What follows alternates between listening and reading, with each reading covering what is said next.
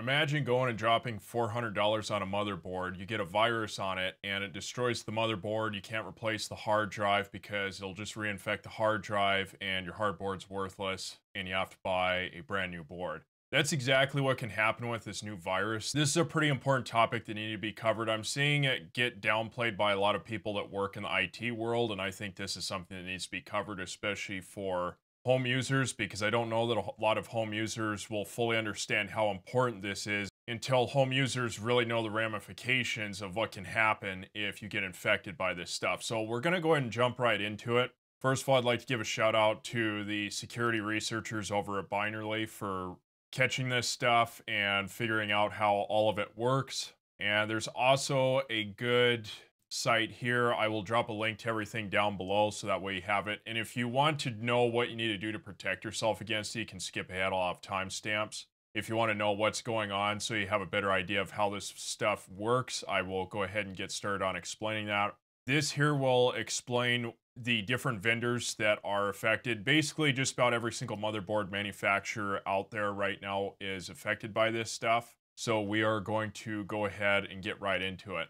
So this new attack method is called LogoFAIL and it's a firmware attack. Now I covered a firmware attack back uh, a few months ago with the Black Lotus UEFI malware. Now this is much worse than Black Lotus because with Black Lotus, it infected the EFI boot drive, which is a hidden volume. You can see here where I put this in a command prompt, which is where I showed people how to boot it and showed them what they needed to do to be able to find out if their files were infected with Black Lotus malware.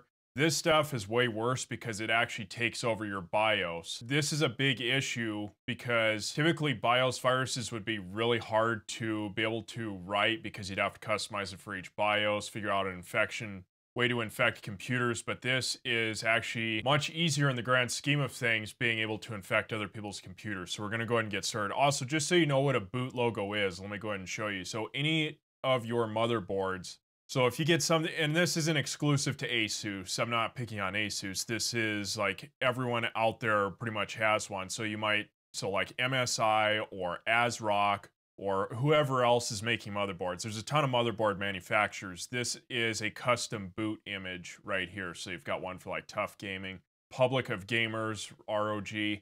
That is a boot image. That's what we're talking about here or rather a, a, logo. So it's the logo that shows up as your computer is booting up. So this is a really good article that goes into quite a bit of depth. Ars Technica did a really good write-up. And then, like I said, I'll also drop links to Binarly's articles because they were the company that did the uh, research into this and found out what it is, uh, how this stuff works, and they go over how they found it, but it's also covered here in this article. Now this affects everyone and this also affects both Windows and Linux because this affects the boot image. Now Mac cannot be infected by this because Mac does not allow the boot image to go and be overwritten because they really have their uh, machines really locked down pretty well. Now there's a few different UEFI suppliers. There's the AMI Insyde and Phoenix, but like I said, it affects pretty much all the motherboards out there because they make the UEFI stuff for like Asus, Acer, MSI, ASRock, all those different brands. So chances are you very likely have a motherboard that is affected by this issue. Now what it comes down to is image parsing in UEFI. So basically what that is, is that allows the manufacturers to go and put in their own custom boot logo, which is what I was just showing you. Now there's something here that I want to point out. It says there are major benefits to this, or it says depending on how the UEFI is configured, a simple copy paste command executed by either the malicious image or the physical access. This is what we're going to be focusing on here because unless it's a corporate environment or government environment, you I don't think people really need to worry about the physical access for home users. This is what you need to worry about right here. Being executed by the malicious uh, image. So this can happen from a few different ways, but as it goes into detail here, it says that it can happen by like through fileless malware. So this is a pretty basic diagram, but it kind of shows you what it is that's going on here. And it has a Black Lotus for comparison. comparisons. Like I said, Black Lotus only takes over the EFI files, whereas this actually more or less takes over the BIOS. It's not like taking over the BIOS firmware itself, but because the image loads with the BIOS. It means that even if you were to scrub Windows, let's say you get infected with this virus, you go and scrub your hard drive of this stuff and you go to reinstall, you will still have an infected system because it's the BIOS that's being infected. It's that logo file that's executing malicious code.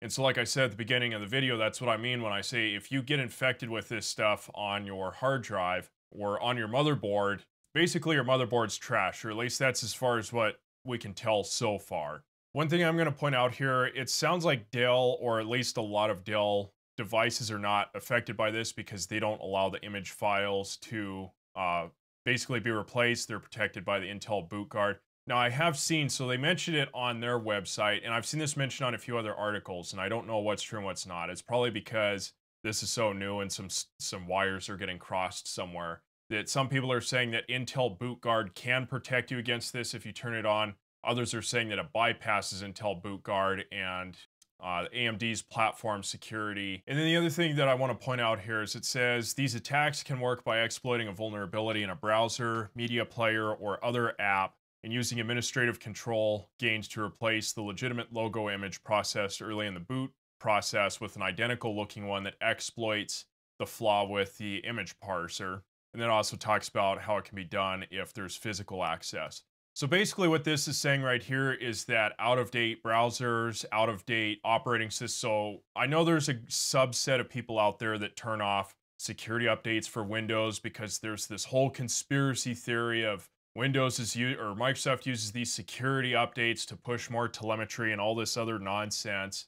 It's just this massive conspiracy stuff that I hear people talking about and then people are also running these odd browsers that don't get updated like at least for every month. And like you can also go look at there was a recent thing the WebP vulnerability. Like people also really got butt hurt I, for the people that have the um, show the dislikes extension for YouTube you'll probably notice that was that had like a 75% or 25% dislikes, 70, 75% likes. That actually made a lot of people butt hurt probably because their favorite said something about their favorite browser that made them butt hurt but one of the critiques that i made about some of the browsers in there is that they don't get updated enough and i can tell you from working in it the reason that i say updates are so important is because of zero day shit that will allow an attacker to get access to a person's system. And it's things like not updating Windows or not having an updated browser or having other updated software that's an issue. Even things like graphics drivers are not immune to this. You could go look at articles about things like AMD and NVIDIA graphics card drivers where even they are exploitable to be able to run malware, and that's why they get patched quite a bit. And you can go look at past change logs that show that as well. Now, there's something I'm going to mention here. So there's no, right now they said there's no indication that these vulnerabilities are being exploited in the wild, but there's really no way to know because these are really hard to spot using traditional tools and methods. It says one clue of compromise, however, can be provided by examining the image file that's parsed during boot up. If the hash is different from what the device manufacturer's image file is, then that's a sign that you might have some problems. So there's a couple of, so now I'm gonna go into the mitigation, how it is that you can deal with this stuff. So there's a few things I'm gonna mention. So first of all, it says there's no active, uh, it says there's no indication of this stuff being exploited right now. I would imagine within a couple of months at most, we'll probably start seeing because this is a, a, pretty big deal. Like, this would allow persistence where you cannot delete this stuff and people will go and think that they can wipe Windows to get rid of it. I can guarantee you there's a lot of malicious actors out there right now that are already preparing and trying to figure out how they can exploit this stuff. So, people need to get ahead of this and be prepared for uh, these issues. Now, one of the things they talked about was examining the image file, and I saw, I think it might have been in a different article talking about examining the image file or the boot logo inside of the EFI drive. Now, I might have missed it because I checked on my computer because I wanted to show people an example for the video, but I went through my EFI drive and maybe I missed something, but I checked high and low and I could not find.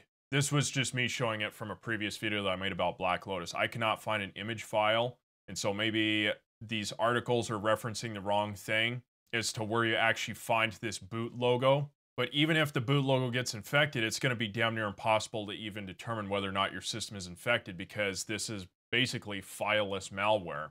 And because it's run at such a low level, once it replaces that logo, then it's using the logo to run malicious commands so you could go watch the fileless malware video that I made. I think it was a couple months back. It's pretty nasty stuff, and you certainly wouldn't want to have that on your computer. And so one of the things that people need to be looking for to be able to mitigate this stuff, because this was just reported to motherboard manufacturers or was disclosed, I think, just a week or two ago, they mentioned it at the end of the article. You should start seeing some updates being rolled out for your motherboards here sometime. I would guess probably in the next month or two, because to be frank with people, and the people that work in IT know exactly what I'm talking about here. For the vast majority of companies, security is an afterthought. So I really don't see these updates being rolled out super fast. But you should see some updates being rolled out over the coming months for your motherboard model. Hopefully, you need you'll need to make sure you're going and checking but you should see a note in here talking about how there's uh, security fixes, and it, like I said, it should be within another month or two. So you'll need to go and do that to be able to uh, patch that up. Now, the other thing, so it also mentioned Dell devices. So Dell, even though they don't have an issue with the logo, they still do have parser vulnerabilities. There's a, a I think, 12 different vulnerabilities that got uh, discovered. They mentioned it here in their article. Dell has vulnerabilities with the image parser, so they are not invulnerable to this stuff. That a Dell device could still be infected with this. Now, the other thing, and it's not discussed here, I'm guessing that we will end up seeing at some point here when we start seeing this malware coming out here, is whether or not you could reflash your BIOS, take a clean computer with a clean USB drive, and reflash the BIOS on your motherboard. Would the malicious logo survive? Would it have some sort of protection method where it doesn't get overwritten? Or would you be able to flash the BIOS and save your motherboard if you get infected by this stuff? I would just say it's safe to assume that if you get this on your motherboard, your hardware is probably trash and you could format your hard drive, but you'd have to figure out a way to be able to do that from a clean computer and not get a clean computer infected. So there's a whole issue there. But the thing is, if you do get infected with this, you could be looking at a loss of at least a few hundred dollars to buy new hardware, depending on however much it is that you paid for your motherboard. Also, let's go over a few other protection methods uh, that I want to tell people about real quick. So the first thing is encrypted DNS, which is some of the services, not all of them, some of them do use filter lists. I talked about this in a video from uh, earlier this year that I would recommend going and watching. It does a breakdown of why uh, you should be using DNS filtering. It's a very easy way to stop malware. Like I gave Quad9 as an example, where like if you use Quad9, for example, they have malware filtering.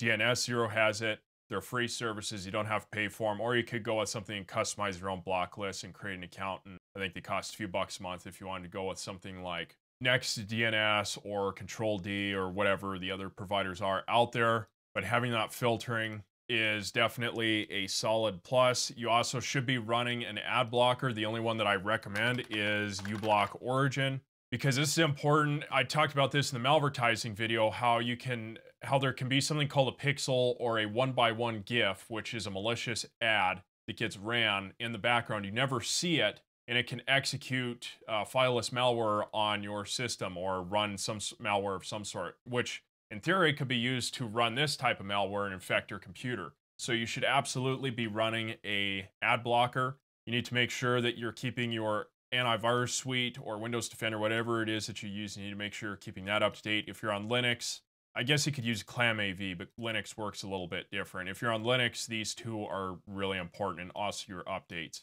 I know it says it can work past secure boot, but you should still use it anyway because it's good protection against rootkits and bootkits. You need to make sure you're keeping your system, your browsers, all that stuff up to date. And the other thing I'm going to mention is you need to be really careful about, I've mentioned this multiple times in the past, be really careful about using things like file repositories.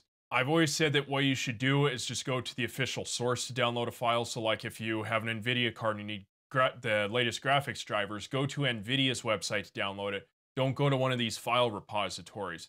And this extends to, I guess you could probably consider a repository some people like to sail the high seas. I think that's there's plenty of people out there that get their stuff infected like that because they don't even know what the hell they're doing. Anything where you're downloading an odd file from a place that's suspicious or that you don't know is a big risk. And I suspect that some of these people are going to be taking advantage of this stuff and spreading around malicious files that will execute on a person's computer. They'll think they're downloading like a legitimate file from a repository somewhere, and it actually has this malware inside of it. And like I said, if you get this on your motherboard, I think it's safe to assume that your motherboard is probably ruined at that point and you're going to have to spend several hundred bucks on a new hard drive, new hard drives, and a new motherboard to uh, really be sure that you're not infected by this stuff. So I would think in probably no more than a couple of months from now, we're probably going to start seeing this malware out in the wild. So I think it's a good time for people to start uh, getting stuff locked down and also keep an eye out for your motherboard BIOS update. As soon as you see the security update come out, it might be a good idea to go ahead and get that flashed. Also, just make sure you back up all of your stuff before you do that. And if you don't know what you're doing, consult with a professional. That's my disclaimer. Anyway, it's going to wrap the video up. Hope this was informative. If you have any questions, let me know down below. I will do my best to make sure they get answered, and I will see you in the next video.